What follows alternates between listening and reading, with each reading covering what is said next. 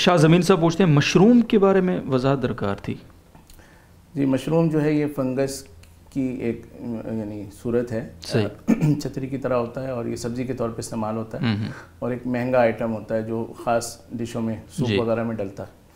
तो जो बैक्टीरिया होते हैं या माइक्रो ऑर्गेनिज्म होते हैं ये दो किस्म के होते हैं। कुछ हैवानात की किस्म के होते हैं जिनको बैक्टीरिया कहते हैं कुछ नबातात की किस्म के होते हैं जिनको फंगस कहते हैं।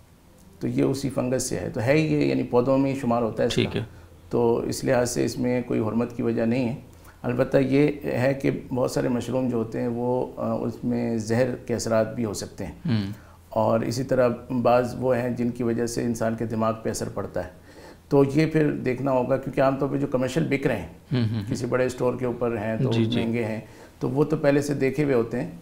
कि ये मतलब मुफीद हों। सही है। लेकिन अगर कोई वैसे ही कहीं से जंगल में जा रहा है उसने मशरूम देखा उठा के उसको खाने की कोशिश कर रहा है तो उसमें देखना चाहिए क्योंकि इसकी बहुत किस्में हैं और उनमें जहर के असरात भी होते हैं।